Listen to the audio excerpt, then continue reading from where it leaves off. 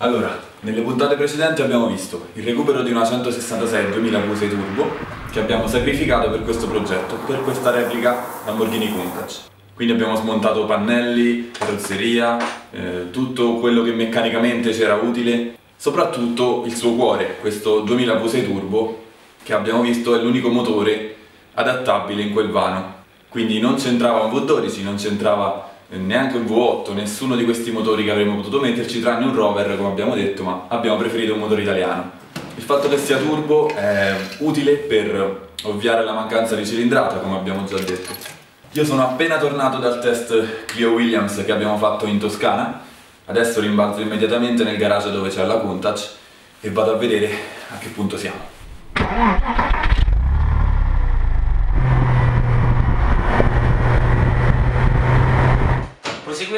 Questa delicata operazione andando a staccare la carrozzeria dal telaio. Il telaio ha parecchi anni, quindi necessita di una bella sabbiatura e riverniciatura. Poi dopo così lavoreremo anche meglio per installare tutta la meccanica. Andiamo avanti.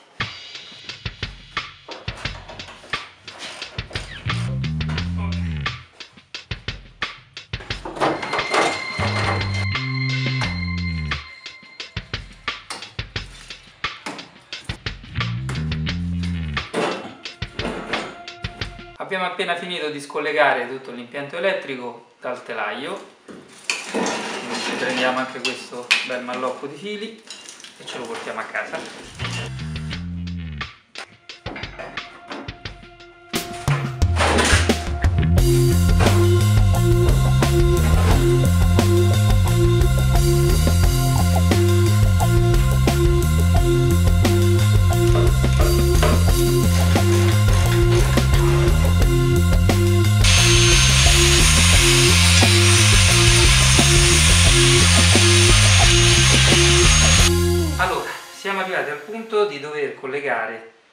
Cambio Audi al motore Alfa Romeo. Allora, abbiamo evidenziato con le etichette quali sono i gruppi Audi e il gruppo Alfa Romeo.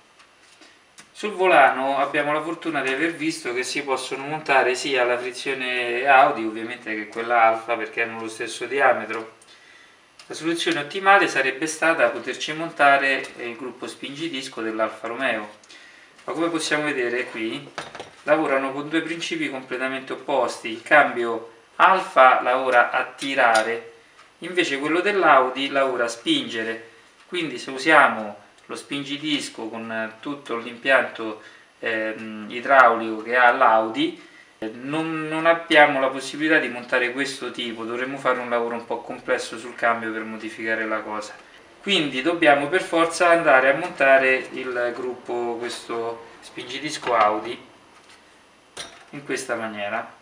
Il posizionamento corretto ci è dato da questo segno che deve andare a coincidere con questo come possiamo vedere in questa maniera. Stessa cosa negli altri tre punti che ci sono intorno. Allora prendendo questi riferimenti come abbiamo detto andiamo a posizionare sopra il nostro gruppo frizione Audi. Questi coincidono ma il resto non c'è neanche un altro foro che coincida. E questo è un gran problema. O dobbiamo realizzare dei nuovi fori sul volano che credo sia la soluzione più veloce altrimenti questo non si può montare. Sarebbe l'ideale se riuscissimo a trovare un gruppo frizione Alfa Romeo contrario.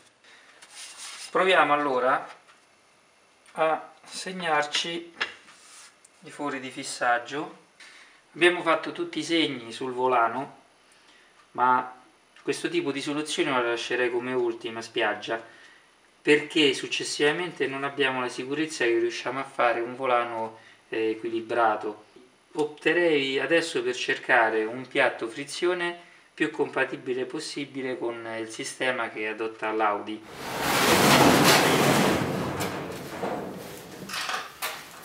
Arrivato il corriere. Ecco. Hai visto coordinato? Belli. Mm. Di chi sono questi? Del Fiat 131. Abbiamo preso questi perché gli originali erano della stessa dimensione Maccarello, questa è un'altra marca, Elma, ma comunque sempre una cosa dell'epoca, però in più hanno tutto il supporto per noi c'è utile per eh, metterlo nel meccanismo, con tutte le regolazioni. Questi? Questi della 127. Ok, dove vanno?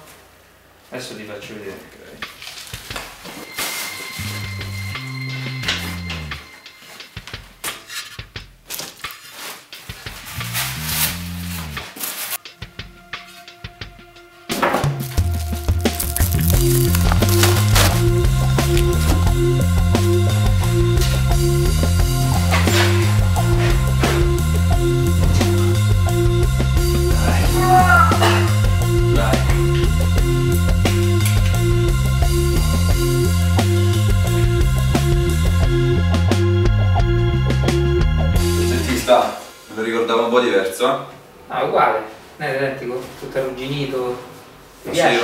Faceva, schifo, E adesso? fa paura.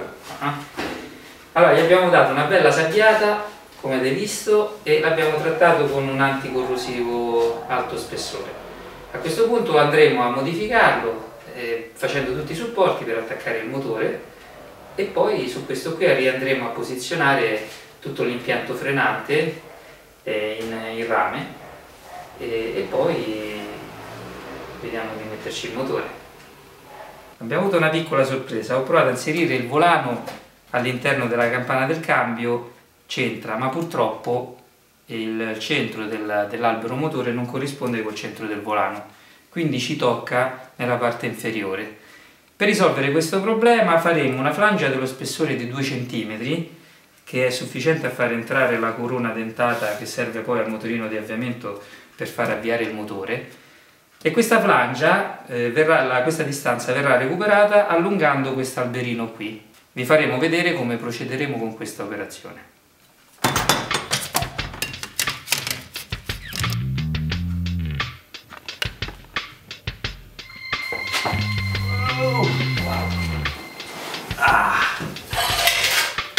Il volante, eh? E vai.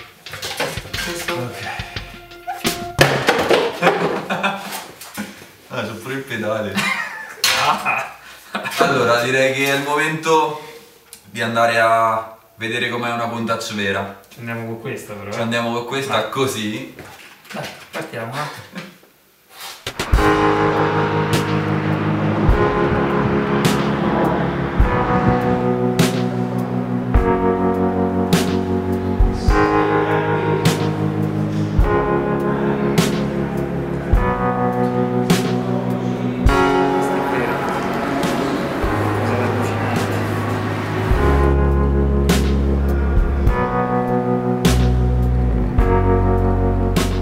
L'abbiamo trovata. Abbiamo girato tutta Italia, abbiamo cercato concessionari, club, privati, proprietari, di tutto. Ognuna aveva qualche problema, tante sono state vendute all'estero, non se ne trovano più e alla fine siamo finiti al Museo di Famiglia Ferruccio Lamborghini che ci ha ospitato per la seconda volta e abbiamo trovato lei che non è un anniversario ma è in condizioni perfette. Perfette. Adesso noi andremo a carpire da questa vettura tutti i particolari dettagli che cercheremo di riprodurre poi nella nostra replica, le cornici dei vetri, come viene montato uno specchietto, un parafango, le distanze che ci sono tra il, il parafango esterno e la ruota, tutti questi dettagli che ci eh, daranno la possibilità di realizzare una macchina più somigliante possibile a quella reale. Come hai detto tu, questa non è una 25 anniversario, questa è forse la vettura un po' più ambita dai collezionisti, la più bella in assoluto. Noi abbiamo una, una 25 anniversario che differisce in piccoli particolari, le prese d'aria qua dietro, lo spoiler anteriore, però sostanzialmente la macchina è uguale. Adesso faremo un- dei rilievi, delle fotografie su questa vettura per cercare di carpire l'anima di questa macchina e portarla anche nella nostra. Per rispettare il marchio il più possibile, per non fare una replica fatta in modo approssimativo, ma che sia un tributo vero alla- al modello e che sia rispettoso del, del disegno di Gandini e della, della fabbrica Lamborghini. Ci sta sorprendendo un po' la, la somiglianza dei particolari della nostra scocca rispetto a questa qui, sono veramente uguali. Sì. Anche il telaio con la conformazione delle sospensioni, stiamo vedendo che gli assomiglia tantissimo. Con Davide siamo entrati sotto alla macchina, stiamo- ci hanno dato la possibilità di smontarla, tra virgolette, no- non è una cosa che che può accadere tutti i giorni. E ringraziamo Fabio Lamborghini, il direttore del museo, che ci ha ospitato. Pensate, gli abbiamo detto che stiamo facendo una replica e lui è contento. Ci ha chiesto. La vuole vedere finita. La vuole vedere finita.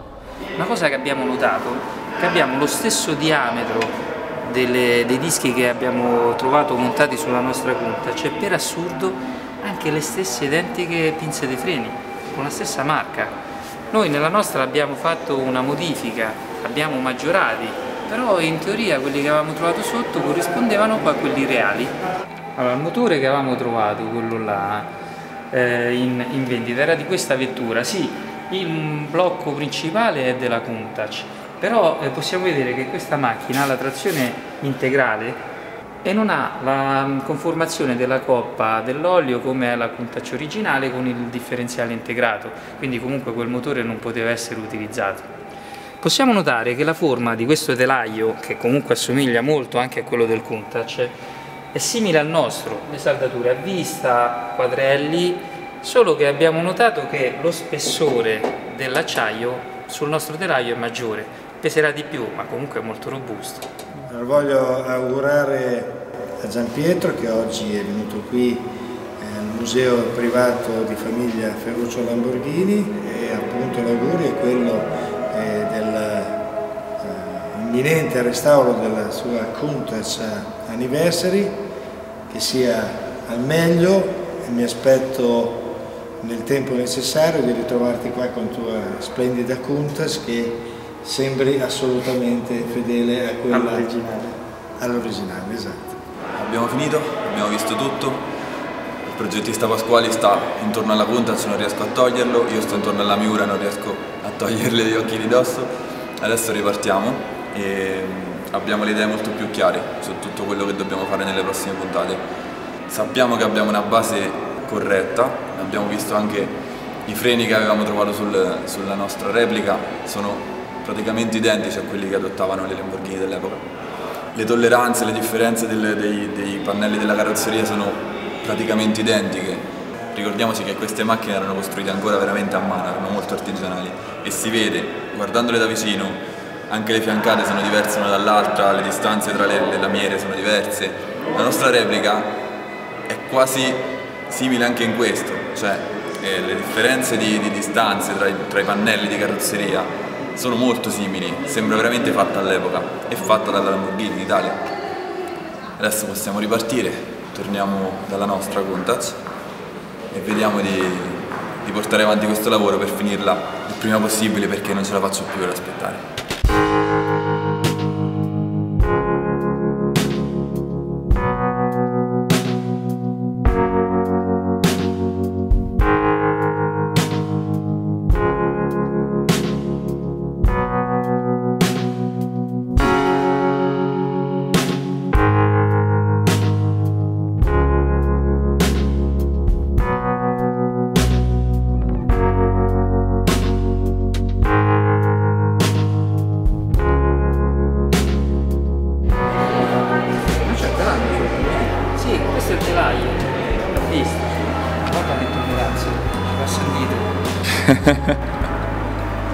Che roba. Che dici, progettista? Qua giù c'è un, un dito, qua su invece.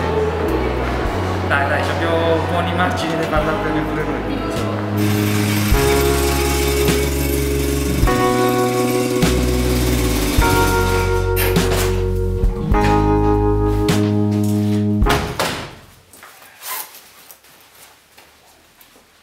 Ok. Vedi che una che funziona l'ho fatta.